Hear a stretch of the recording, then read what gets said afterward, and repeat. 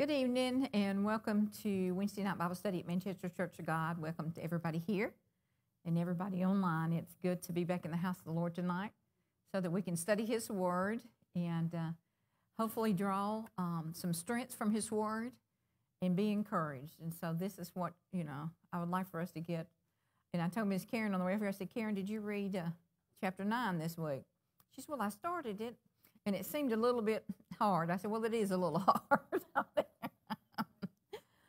But we will get through it because it has a lot, a lot more into it once we get in, into it than uh, up front just being a, a, little bit different. But Romans has a lot of uh, stuff in it. It has a lot of stuff to cover, a lot of good stuff though. But I think it has a lot of history, a lot of things about how the, church developed, how things started, which helps us to understand how we got to where we are today and really what God's purposes for things. So, before we get started, let's take prayer requests and um, praise reports. Um, I know, Wilma, you mentioned a couple of people that needed prayer. or something.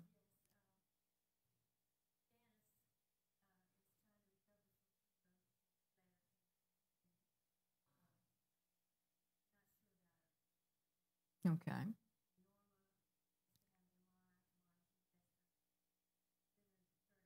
Okay.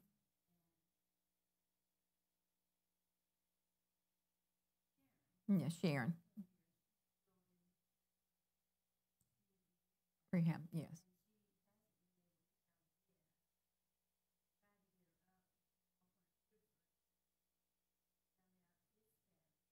Oh my, so yeah, so pray for Sharon.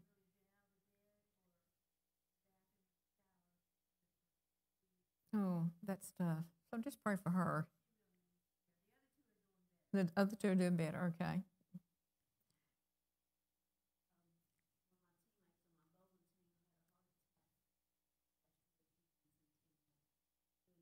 Doing better. Okay. Marcia has a friend that had a heart attack, so let's keep him in your mind, in our prayers in our mind and thoughts. Yes, praise reports.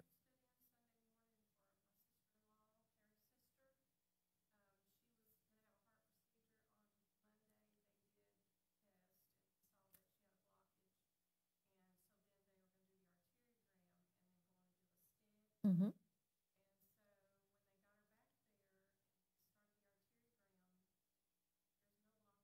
No blockage. That's wonderful.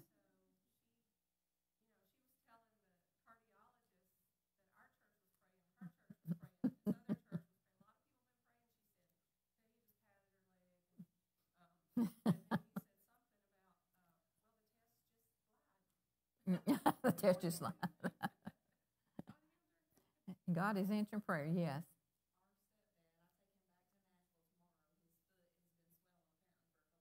Mm.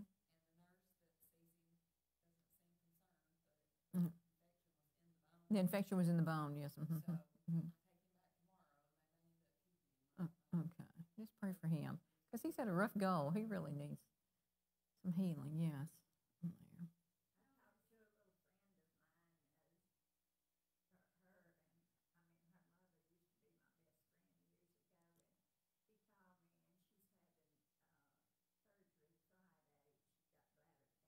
Mm. Pray for Miss Mary's friend with bladder cancer. Yes. Let's pray for the youth who are at camp, that they'll just be transformed, that God will just show up in a way that they will just be renewed. And they have a blessed time. You're right. You're right.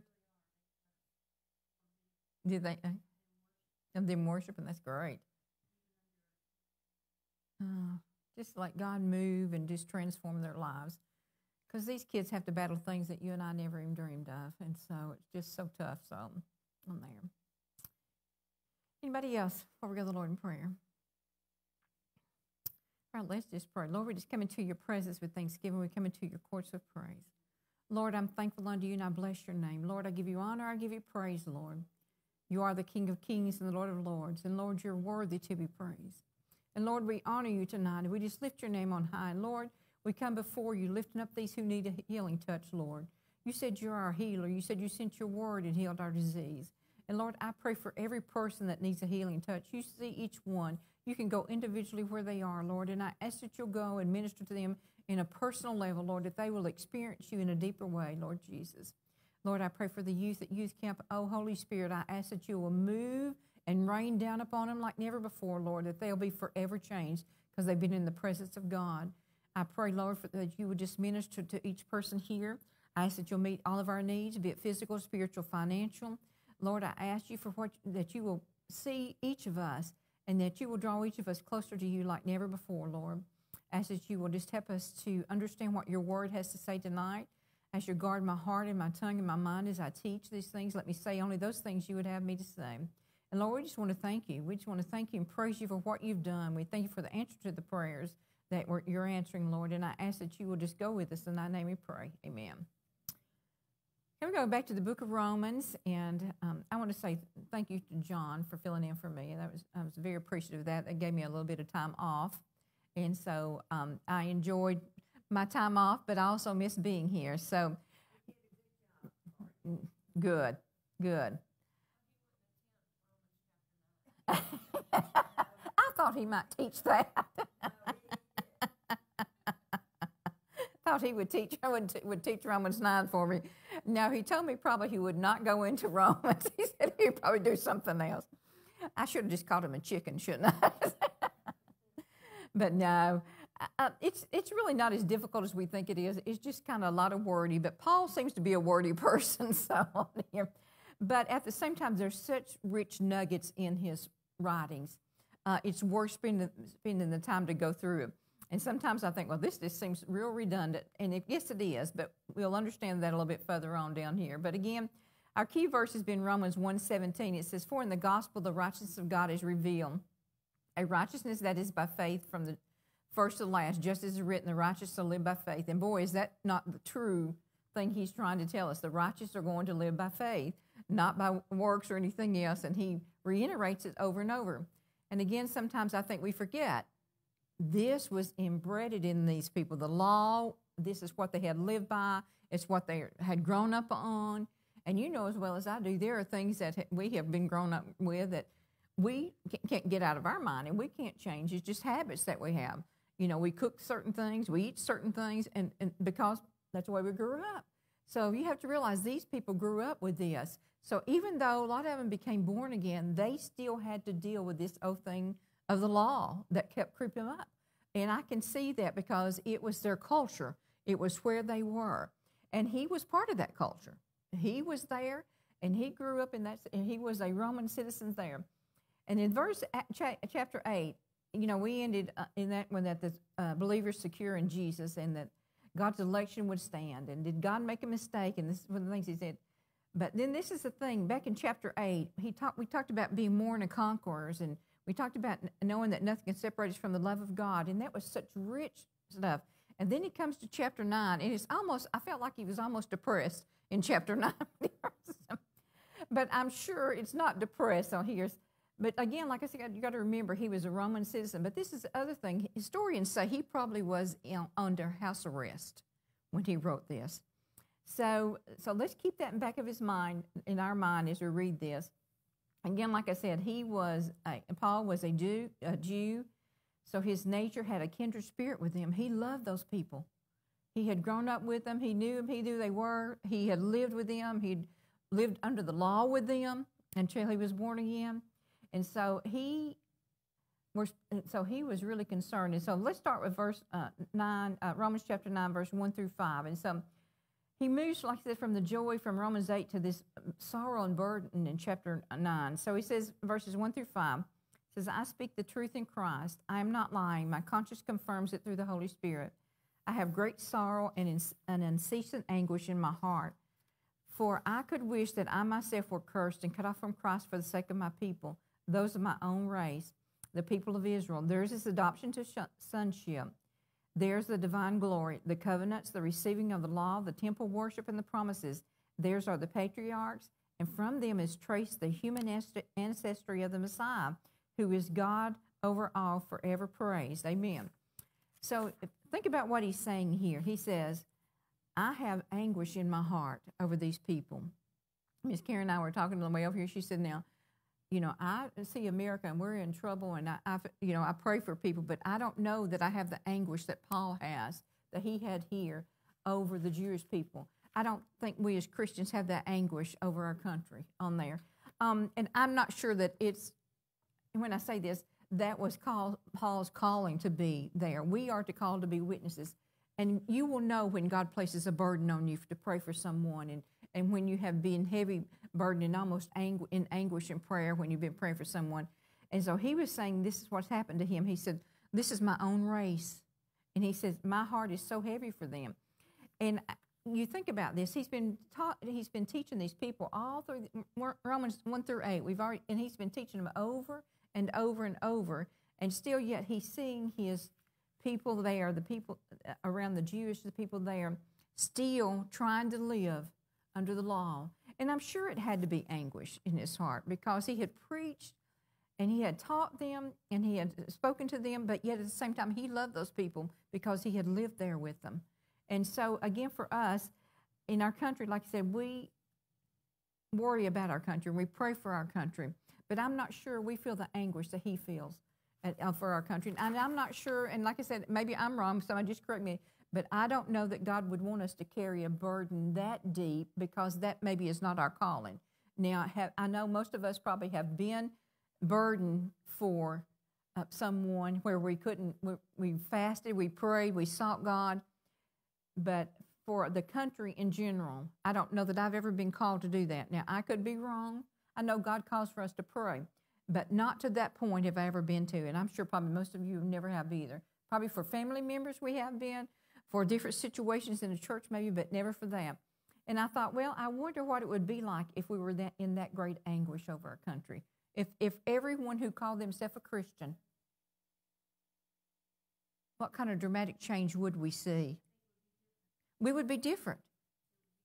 If we were so overwhelmed that we were just, our heart was just overwhelmed in, in, in anguish and pleading for God and pleading with God for God, I think we would be different. And, um, you know, and we may get to that point in America to where we as Christians humble ourselves that much and get to this point. It could get that bad for us on there because usually what? When the hard times come, persecution comes, we usually fall to our knees and even pray even more. And then verse 4 and 5, he talks about Israel being adopted by God as his own people. The purpose of all the blessings that was that Jesus Christ came through Israel into this world. If you think about that, you go back over here in this first part, he says, he says, part of this, he said, the people of Israel, there's adoption, sonship, they were given this divine glory and these covenants and he thinks, he says, Theirs are the patriarchs from where from them is traced the human ancestry of the Messiah. I think sometimes we forget that. That that's where the Messiah came down, the ancestry of that came down through the Romans. And we forget that. And how would we feel? And we I try to think about this. Here the Messiah came down through the ancestry, but yet at the same time they still reject him as being the Lord. Sometimes that's just hard for me to grasp to think that that's where he came from he was came down through that lineage there, but at the same time, these are the people who reject him. Now I know we think, Lord, if, if, if the baby Jesus was born in my family, I might, you know, we'd just be holier than everything. But I wonder, would we? Or would we soon forget like they did? Some. Yeah, I think later on it talks about, it. but yes, there is a veil over their eyes, uh, you know, on there. And sometimes it's hard for me to understand about the veil being over their eyes because how did the veil get there? Did they choose the, for the veil to be there, or was the veil put there for protection from God? To for the because we don't understand all the mysteries of the Word. There is no. I wish I could understand the mysteries. I wish I could understand every mystery that was written in this chapter here, but I don't understand that. And I think sometimes He covers the veil on our eyes for things to happen and come to pass and for things that we might want to know when we get to heaven, but we probably won't ask when we get there because we'll be worshiping. That's what I think about that on there. In verse 5 again, he talks about them being adopted by God, his own people. But in spite of all the blessings, Israel failed. Now think about that. Again, you and I think, well, if Jesus had been born in our family, we wouldn't fail. We would do what he said. They were his family, but they rejected it. Why is it that our family is the hardest ones to reach? Well, exactly. The prophet does honor his own country. And we wouldn't think that because he was the Christ, he was the Messiah. But again, remember, he, they knew him as a person.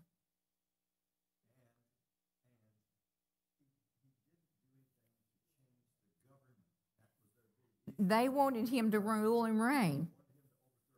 Mm-hmm. Mm-hmm. Exactly. They were expecting something else. Exactly. Exactly. And so when he didn't raise himself up to be the king, not of this world. Yes. Mm-hmm. But in spite of all the blessings Israel failed, when the Messiah appeared, Israel rejected him and crucified him. Now that's hard to get a grasp of. This is a person who come down from the lineage of there.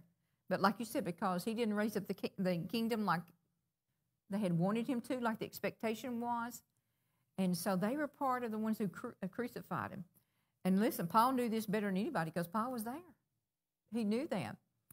But again, does God's does Israel's failure mean that God's work failed? No. Mm-mm. God is faithful no matter what. What people may do with His word, individually, as a nation, as a country, as a pastor, church leaders, God's word never fails. He never fails. Um, and then he goes into verse 6 through 10, and I thought this was real interesting when he talks about this on here. Um, verse 6 through 10 says, It is not as though God's word has failed, for not all who are descended from Israel are Israel, nor because they are his descendants are they all Abraham's children. On the contrary, it is through Isaac that your offsprings will be reckoned. In other words, it is not the children by physical descent who are God's children, but is the children of the promise who are regarded as Abraham's offspring. For this was how the promise was stated At the appointed time, I will return, and Sarah will have a son. Not only that, but Rebekah's children were conceived at the same time by the father Isaac, yet before the twins were born or had done anything good or bad, in order that God's purpose in the election might stand. Now, let's talk a little bit about this because I thought, what is he talking about there? And what he's talking about when here, there's a difference between a natural seed and a spiritual seed. Now let's go back and think about Abraham. What did God say? He told him and Sarah, You're going to have a son. And they waited and waited and waited. And the, like the pastor's sermon on Sunday, they decided to help God out. Now, back in the Jewish culture, what son received the blessing? The firstborn. Who was the firstborn? Ishmael. Ishmael didn't receive the blessing because that was not who God said should be the firstborn. Born. That was God said Isaac would be the firstborn. Abraham and Sarah decided Ishmael would be the firstborn. On there. And so this is one of the things that I thought was interesting here. It is not the natural descent, like I said, it's what God had designed. God had planned that it would be Isaac, because Isaac was the promise, and he would come from those the generation that it wouldn't be Ishmael. And so I wonder. So think about this, and, when God set these things in order, and then all of a sudden, Abraham and Sarah decided to do something else to bring another child. So what happened then? There's Ishmael, and then you have Isaac, which received the blessing. But how many times has God told us something, and we've tried to fix it ourselves, and we've tried to do it, and rather than waiting on God and waiting on His promises, and we've messed up. I think probably all of us at one time in our life has experienced something like that. Or we've done something we shouldn't have done because we're thought we could help God out.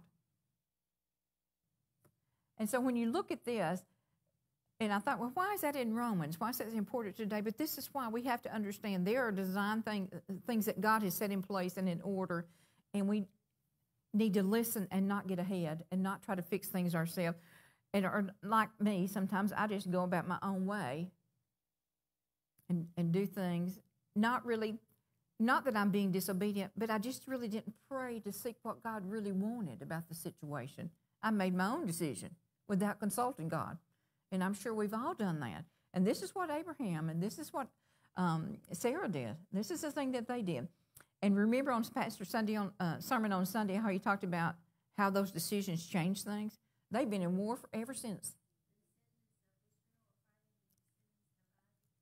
today. They're still fighting today. And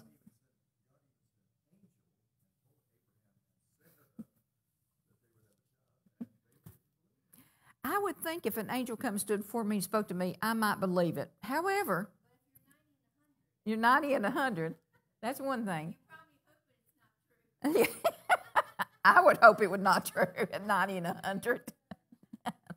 but this is how many times has the Holy Spirit spoken something to us, a promise?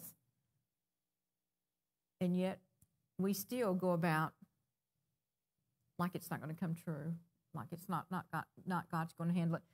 And the reason we do it is just like Sarah Ham, uh, Sarah, Sarah Ham, Abraham and Sarah is we want to help God out. Or we get tired of waiting, or we haven't seen the answer. So therefore, we think we can do something to make the answer come quickly. I know we've all been guilty of that. And sometimes we've really regretted it, haven't we? Other times it might not have been as bad, but there have been times we've had. No. Mm-hmm. Mm-hmm. Salvation came through the Jews, and Ishmael was not. No. And that's why he talks about here the firstborn order on here. And when I read that, I thought, boy, how does that even pertain to us today? Because that's just really hard. But when I got to reading and studying and thinking about this, Abraham and Sarah is no different than you and I are. We have to listen to God. We have to hear what He's saying. We have to seek God and listen to what He's saying for our life. I'm sure we've all made decisions we wish we'd have never made because we just stepped out and did what we wanted to do rather than hearing from God. And I know all of us have been there. And aren't we glad that God forgives us and says, okay, come back, we'll try this again. And, uh, and I try to tell myself, listen a little more. And you're all a little closer to the Lord. Listen to what God's saying, you know. And as I'm getting uh, older and uh, studying more and reading more, I'm understanding that God says He's in control. And when He says, I'm in control, we need to let Him be in control. But we, as a human nature, we, oh, yeah, God's in control. And then we just jump right out running before Him. And we got to come back and say, okay, God, you're in control of this situation. You're handling this situation. You can resolve this situation. Does that mean I sit still and do nothing? No. I seek the Lord. I listen for His voice. I wait for him to give me opportunity to work on the situation if he says do this or do that in the situation. But I need to make sure that I am not running ahead of what he says because we want to get everything done on our time and our way, and that's not always the way it is. And maybe sometimes I think there are things that maybe God, God's blessings that maybe He had for us, but because we ran ahead and did something else and made a decision somewhere, we lost that blessing. But you know, God is so good, He'll bless us again. He's not selfish with His blessings, He cares about us. And even though we mess up and even though we make decisions, sometimes that maybe is not exactly what His divine plan was for us, He again can bless us. And I'm so thankful for that. Uh, the difference between the natural seed of Abraham and the spiritual children of Abraham, like I said, since uh, Ishmael should have been chosen. Now, I want to think about what would have happened had Ishmael been chosen. I mean, we look at the wars that goes on in the countries that the way they are there, the descendants of Ishmael. But then we go back and look at Isaac and the descendants of him on here and how we can uh, learn from all of that. And again, like you said, they've been at war ever since the beginning of this happened. So let's think about this. If this had not happened, would there be war over there? Somebody else would have picked the fight. And, and we don't know that it would be or would not, would not be. But again, it's for us, for our learning, to understand that don't get ahead of God. Let's listen to what he says on here. Let's talk about Jacob and Esau. Now, that's an interesting story as well, isn't it? Esau and Jacob had the same father and the same mother, and Esau, being the firstborn, should have been chosen. God did not make his election on the physical. Therefore, if the nation of Israel, Abraham's physical descendants, has rejected God's word, this does not nullify God's purpose at all. So let's go back and talk about Esau and Jacob. So what happened? Who got the blessing? Because uh, yes, Jacob got it, but who was the firstborn there? Esau. on there. Jacob didn't care. Mm-mm, no, on there. Again, like I said, but because these things, these blessings did not come down to Israel, this type of thing, um, God's word didn't change. His purpose and His will, just like I said for us, sometimes when we get out of God's will or we don't, we miss God's blessing. God's will does not change. He will still carry us along. He will still bless us as we move into different areas on there. Now, I wonder when I get to heaven, will there be, and I just wonder this, okay, is there going to be a movie that says this was my divine purpose for you? Now, this is just my thoughts. Or is this the path, or, is, or here's the movie that says this is the path you chose. It probably won't even matter to us when we get there. But I just, I just sometimes think, okay,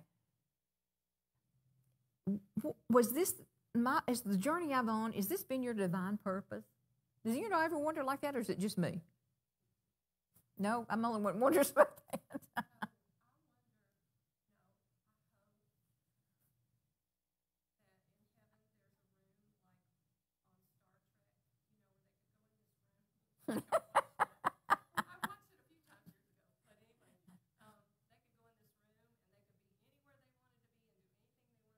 Mm-hmm.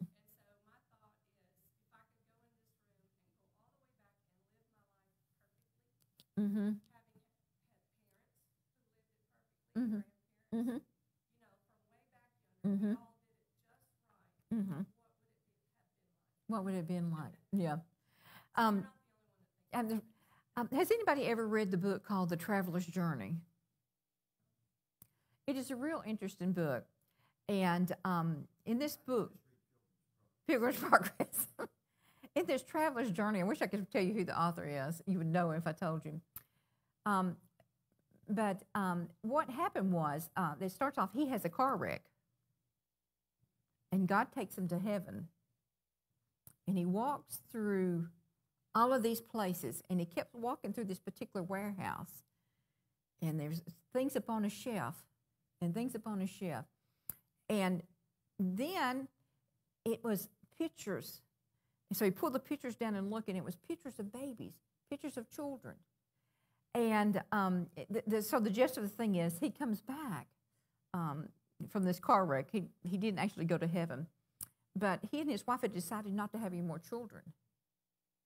But in the course of this journey, he felt like that was God telling him, These would have been your children. And it was just real interesting in the in this story about how that he walked over there. And I thought, and that made me think of that when we see, you know. And so eh, he walked in this, and he kept going to this one place and kept seeing those pictures.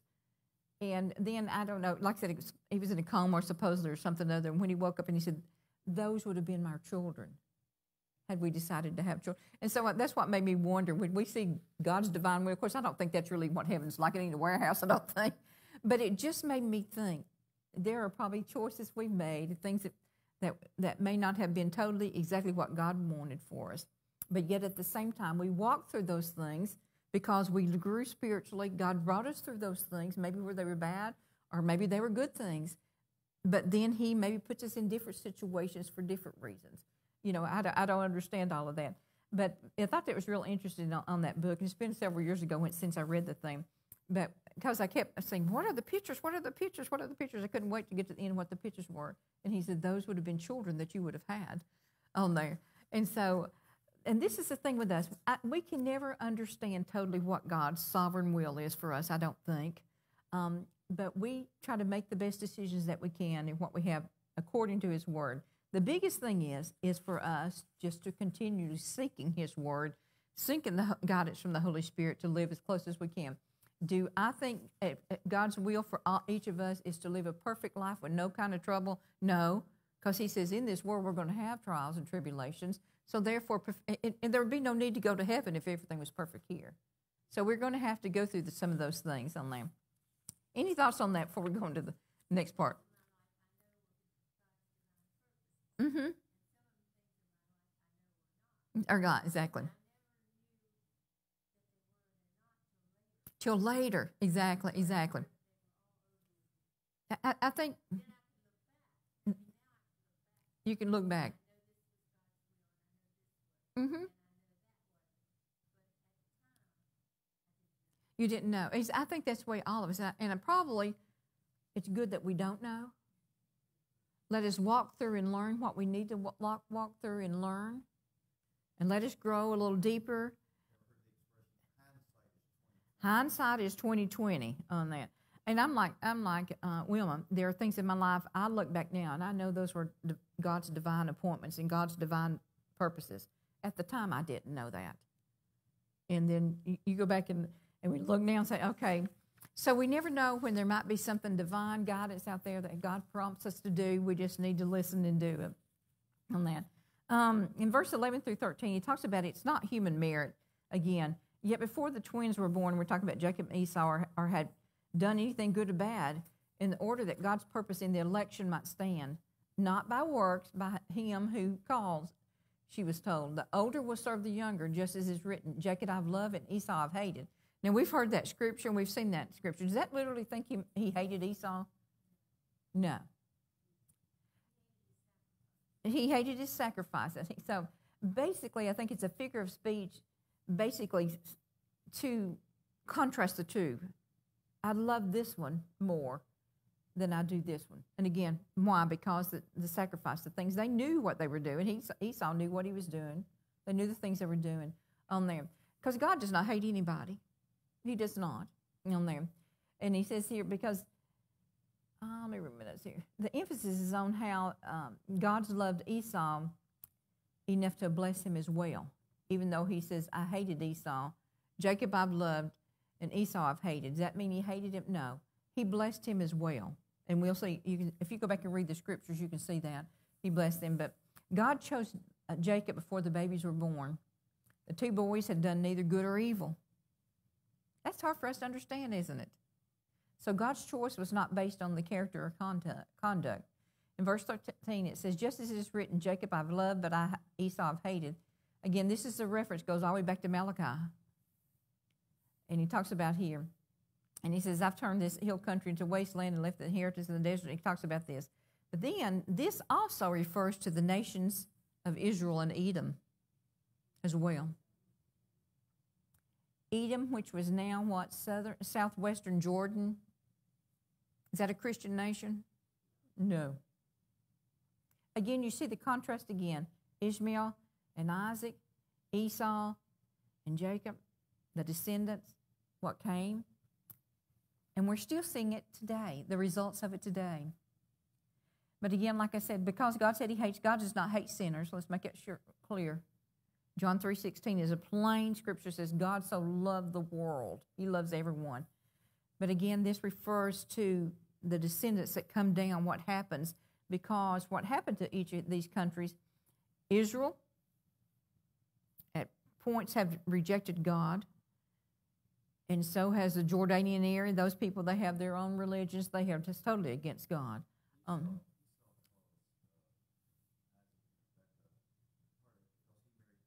He married, uh, married foreign women. Mm-hmm. what he saw, Esau was going to do. You're right. You're right. Yes, he did. He did bless Ishmael. Yes. Mm-hmm. Mm-hmm. Yes. But The thing I think we have to understand that God is faithful even when we are unfaithful. And isn't that true? He still blesses us even when we haven't done everything right.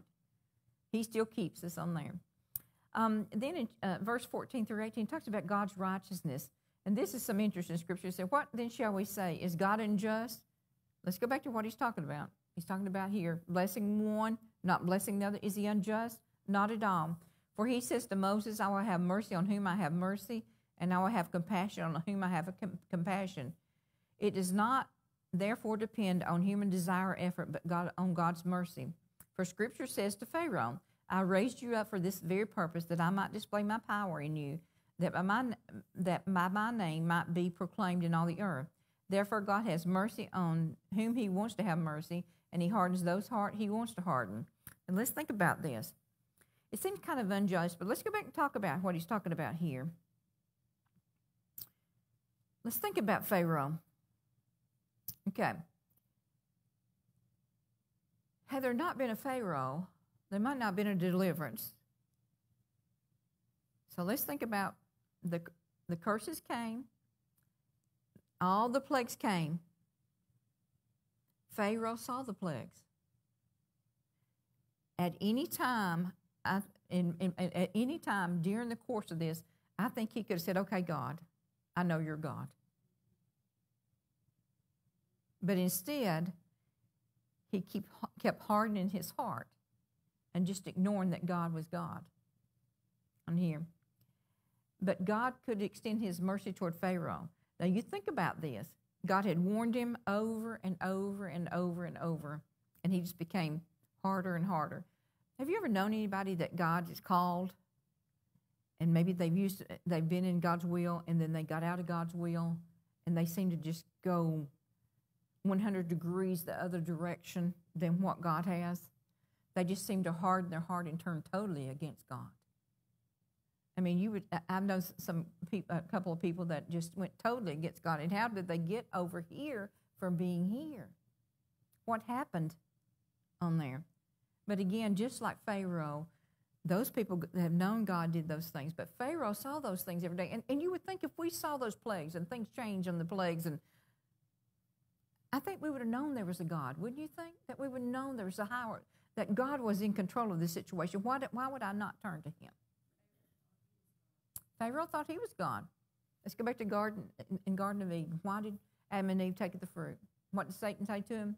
You will be like God. That's been the struggle all along, hasn't it? On here. Trying to be like God in, in, in here. Because he knew, let's face it, he had taken all these, uh, all these people captive, the Israelites captive. And let's face it, he was the king. They were underneath him. He was power. He was powerful. They had free labor. Yeah, he told us he's going to harden Pharaoh's heart. Now, that's one part I really just not even understand. Does anybody have any comments on that part of it?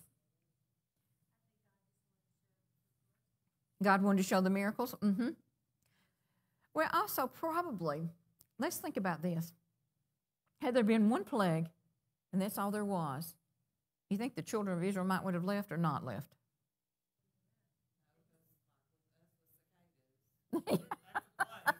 That's a plague. mm-hmm. Mm-hmm. Mm-hmm.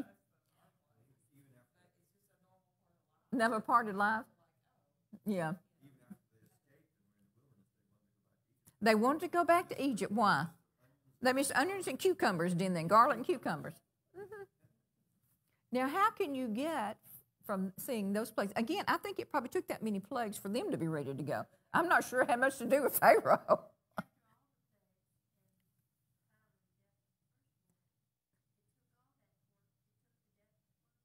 the death of the firstborn to let him go. He chased after him. He did not let him go. Mm. But see, here we're seeing two contrasting things. Does God hate Pharaoh? Did God hate Pharaoh? Mm-mm. It, it is just hard for us to understand that God had compassion on Pharaoh as well. He gave him every opportunity. Yes. Yes. Continue to disobey. I think you, I think you can uh, lose God's blessings. Yes. Mm-hmm. Again, like these two things that we've looked at here, Esau and Pharaoh, it still shows us that God is a God of mercy and God has grace for us. Um, in verse 15, it talks about mercy. Uh, Moses said, I'll have mercy on whom I'll have mercy on. You got to remember here, Israel still, after they just after seeing all these plagues and things, they still went back to idol worship.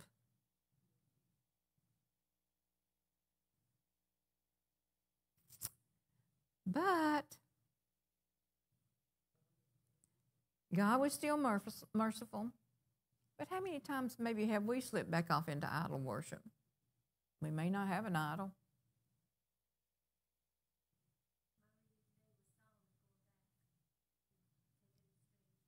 Taking to strange wives, not pleasing God. He knew those things. Solomon, you're right. Exactly. It is so easy for the world to slip in. And let me just say this, and of course, I know I'm meddling right here. But when things of this world occupy all of my time and I have no time for God, I have an idol.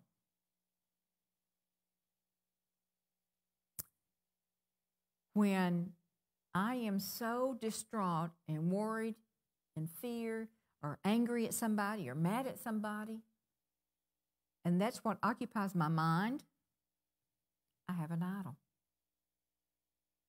When I want to do something for me, me, me, me, me all the time, I have an idol. So we can't get too being out of shape over here. We're seeing Pharaoh and the children of Israel because there's some of us in every one of these people. There's some of me in every one of these people because we have to guard against these things. And we're, and that's the truth. Have it your way. you need this. Yes. Again, we don't always understand God's sovereign over all this stuff. It's very hard for me to get, grasp all of this.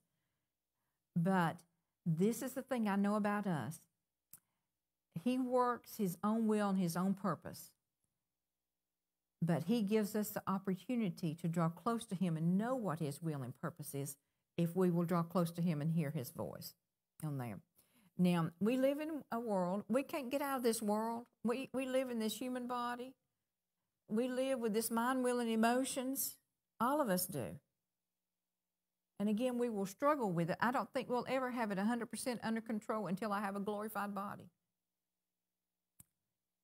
But at the same time, it is up to us to make the decision that we do not want to be like Pharaoh on there.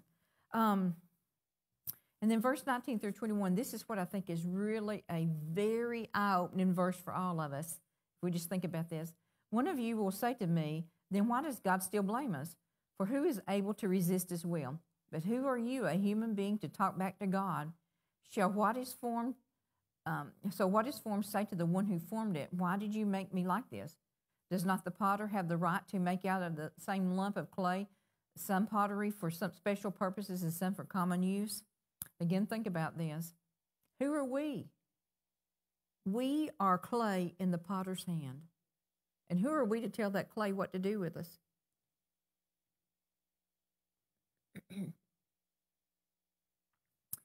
God has a design for each of us. And God is wiser than we are. And sometimes we can be foolish about questioning His will. Do I think we're allowed to ask God, I don't understand this? Yes. But when we go through things, who are we as the clay who has the right to say to the potter, You don't know what you're doing. I'm not going to submit to your will. Who are we? You know, I think about Israel. I think about the war, Iraq. I think about the governments that's all anti God. I think about the religions that are anti God, all it would take is one stroke and it would be over with. Now let's think about that's the potter. That's the potter. And we're the clay. And like I said, God is wiser than we are. And sometimes, you know, we want to question his will. I mean, have you known anybody get angry with God when something happened in their life and they just couldn't get over the anger and the bitterness toward God? I understand where his will. This is a reference to the clay does not have life. And it's in, in a potter's hand. Unfortunately, we as humans, we have feelings and intellect and willpower, and we can resist him if we choose. Have anybody ever done any pottery? I tried it one time, and I'm not real good at that stuff. You know, it just seemed to get out of control for me. So that would be how I feel my life. I'd be on the spinning thing and I'd be out of control, but God's got it in control. He's making me into a perfect vessel if I will allow Him. But if I'm not pliable and I don't, don't allow Him to change me, How does God change us? He begins to speak to us little by little, little by little. And this is one of the things I thought it set up in here. And it says, um, Does the potter have the right to make uh, uh, the same lump of clay, some pottery for special purposes and some for common use? Now let's think about this. Because we have a tendency in church to think the leaders, the praise team, the pastor, that's a beautiful pot. And I'm nothing. I'm just a little piece of common clay, so to speak. But no, He makes each of us how we need to be. Some people are going to be a pastor. Not every one of us in here can pastor this church. Can you imagine having 20 pastors? So we have to adapt to where we are and what He wants us to be. What is it that He wants to be? Do I say to just a, a beautiful vase, oh, you're much more better than my dishes in the cabinet that I use every day? No. We have to have all of it. So we can't begin to judge one another because what the potter made them, but we have a tendency sometimes to think, well, the pastor's more holy than I am, the praise team's more holier than I am, on all of that. We have the same Holy Spirit living inside of us that the pastor does. Now, I'm not saying that pastor's office is not to be honored and uh, that worship leaders should be godly. I'm not saying that. But what I'm saying, we all have the same Holy Spirit in us. And God wants to use us in wherever we are. Again, we all have to be somewhere at work, Walmart, different places. There are things that God wants to use us. So we just have to let Him use us in the way that we want to be used in. Again, like I said, we as individuals, though, we have feelings, intellect, and sometimes we'll say, I don't want to be used like that. I'm not willing. So we can shut down the Holy Spirit. And he'll say, Well, I'll move to the next vessel who wants to be used. No. Get used more frequently? You're right. I have some vases I don't ever use. I have my dishes I use every day. exactly.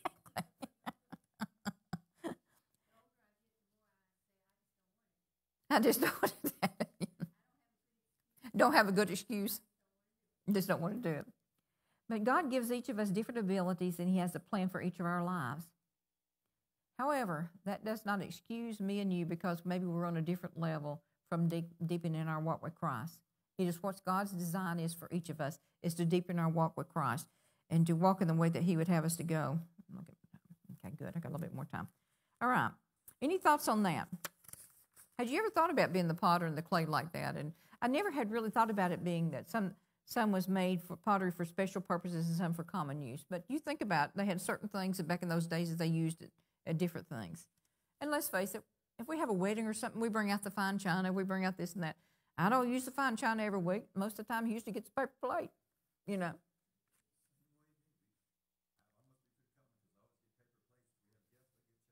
You get china. Not very. paper plates, but but think about it. We we're that plastic silverware too. But when you, okay, right. He doesn't like plastic. How do we get from clay to that? but anyway, verse 22 through 24, but God has his purposes. The summary of these scriptures let us know that we must never think that God enjoyed watching a tyrant like Pharaoh. Now think about that. You think God enjoyed that? No. I think God's heart's desire for Pharaoh was the like it is for me and you today, that he would turn. I think that's because he loved him. Because God loves everyone, right? But he's long suffering and he gave Pharaoh opportunities to be saved. And he says, um, verse 23 says, states that God prepares men for glory, but sinners prepare for themselves judgment. God prepares for man glory. That's what God would have for all of us. But because we choose sin over God, then there's judgment for our uh, consequences for our sins on that. Um, Romans 9 22 through 24 says, What if God, although choosing to show his wrath and make his power known, bore with great patience the objects of his wrath, prepare for destruction? What if he did this to make the riches of his glory known to the objects of mercy whom he prepared in advance for glory? Even us, whom he called, not only when the Jews, but he also called from Gentiles. Now let's go what he's saying here because this looks a little complicated. But what he's saying, there were some things that were prepared prepared for destruction to make his glory of his riches known. What was God's design? Jews and Gentiles were born again, that they would become Christians, not just Jews. It was Jews and Gentiles. That was what he wanted both here. so when he came and died on the cross for us, he died both for the Jews and Gentiles. But the destruction that Pharaoh and him caused, if you think about that, that destruction was used so that the Israelites could go free, so that he could advance for his glory. And that's hard for us to understand because we weren't there. How can you use something like that for your glory? But how many times have we seen someone maybe have a death in a family or something another, and God used it for His glory? Not that He individually took that person out for that reason. I'm not saying that because I don't know what the reason is. But how many times have we seen good things come out of bad things? We all have. So, therefore, again, God's ultimate plan when He sent Jesus to earth was that both Jews and Gentiles would be born again. That was God's ultimate plan. That's why He came to earth, so that all lost people may be saved. And we were all lost. We're all sinners, be it Jews or Gentiles. Again, you go back to here again, where the Israelites thought law saved them. Again, no, God died on the cross for them. Jesus died on the cross for them because the law could not save them. And so these horrible things that they went through, God used his purposes to bring about his will on there. And again, my mind don't understand that, why we have to do that. But I know us as human natures. Most of the time when we get closer to God, it's when we're forced to get close to God. We go through a tough trial, or we go through something, or else really dark, or else just something with our family or whatever. What would the first thing we start to do? We run to God, right? Because if everything was just good and or- ordinary and everyday life and just going on happily, some of us would probably never pray. So therefore, he uses some of these things for his glory on there. Um, Paul quoted in Hosea stating that, the, that God would turn from the Jews and call the Gentiles. Now that was unheard of. You think about back back in those days, because the Jews were it. The, the Gentiles, they called them what dogs. They were nobody as far as they were concerned. And why would God, of all people, have something to do with the Gentiles? And so God's purpose again was that the Jews and the Gentiles, all mankind, would be born again. That was God's ultimate purpose for sending his son here to earth. That was it on here. And so when we look back at history, look about what he's talking about them, um, even though the Jews and the Israelites were God's chosen people, his desire from sending God to God sending his son was for both Jews and Gentiles. Now, Think about this. Again, Israel being God's chosen people, they thought of themselves as elite. And you think about that because we're a Jew. We're, you know, we're established. We're going to go to heaven. Everything's right. But you look at Scripture over and over, and I was going to talk, find that one Scripture I wanted to read to you because I'm about to run out of time.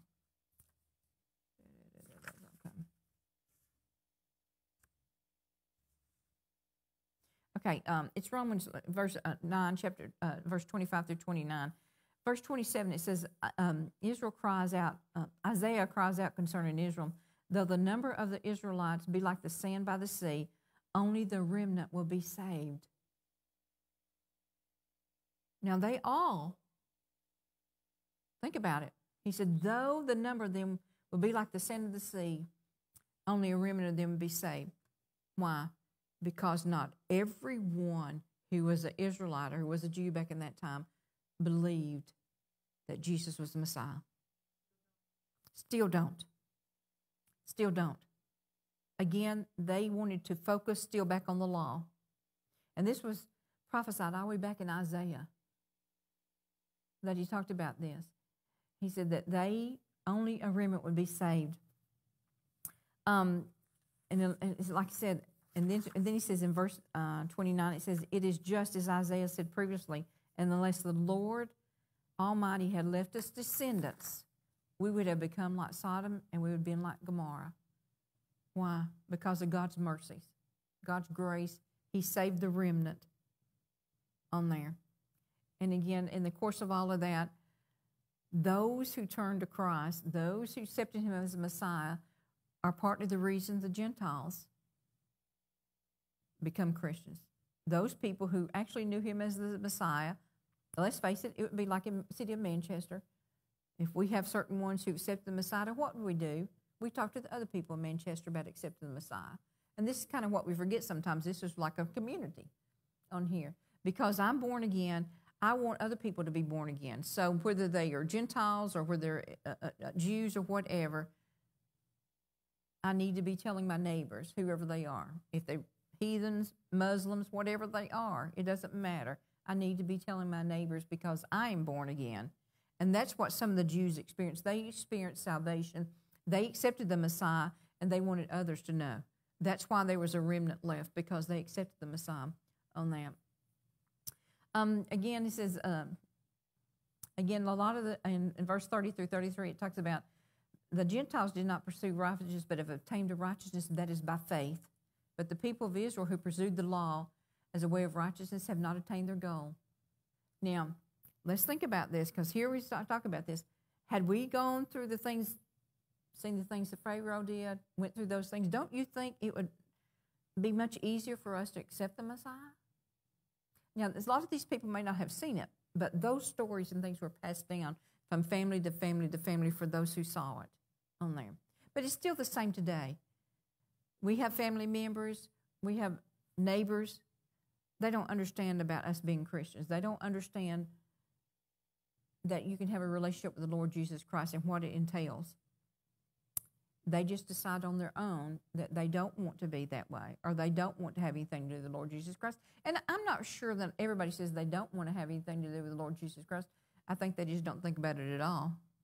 They just don't believe that that's the way to salvation. They just, well, if I'm a good person or if I do this or do that, again, it's the same thing as the Israelites doing. If I, I want to do it my way, I want to do this law.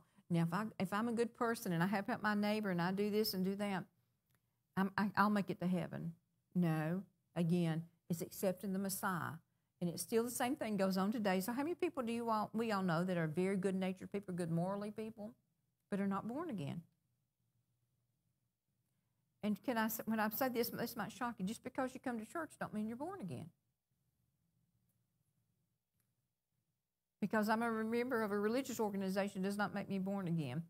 And again, I think some people have if I do good or be good, then I'll get to heaven. No, again, it's by faith. And again, that is what it, the Israelites and the Jews had the hardest time getting because they felt like it was based on law. And we look back, and maybe it's just a, it's a different people, but it's still the same thing going on today. The very same thing. There are people, if I work good enough, or how many religions do we know that if you do this, so much of this, if you do that, then you'll get to heaven? No, again, it's the same thing. Again, the main subject of these chapters is the Israel's rejection of accepting Christ by faith, still thinking the law saved them. God is still faithful, even, even when his people rejects him. And we can, he can, we can depend on him to accomplish his purposes and keep his promises. Again, he's still working. He's still offering salvation to anyone who wants to accept it. And we as Christians have been born again, and we need to let the world know that we need to be born again. Any thoughts on that before we close? That's right. He didn't even like the people. he wanted them to go to hell. Anybody wasn't Israelites. Exactly. Exactly. On that. And our, you know, our goal as Christians, we should be trying to win as many people to the Lord as we can. That's what God has us here for. That's our purpose. Any thoughts on this chapter? Know, was it as hard as we thought it was going to be? It's just when you get in there, you get to think about what is he saying, because sometimes, like said, he's a little wordy on there. We have exactly, exactly. We have down days just like he did.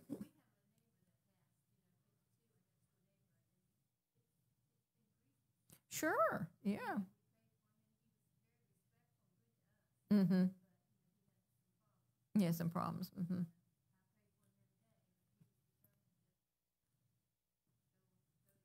Go the other way.